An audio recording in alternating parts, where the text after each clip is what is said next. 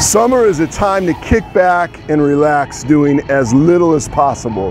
But when fall rolls around, will you wish that you had done something more? Something that had counted for something significant? What if you could use your summer in a different way?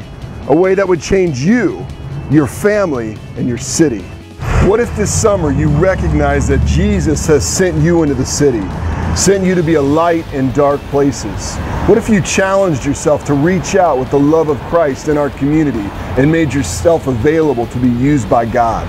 Sent Summer is an immersion in the book of Acts that will propel you into the city. You'll learn about the early church and how it felt and looked for them to be sent into their city. You'll plan and participate in outreach events that will make a real difference in people's lives. You'll grow in your faith as we ask God to work in real time, and your summer will count. It will count in ways you didn't even know were possible.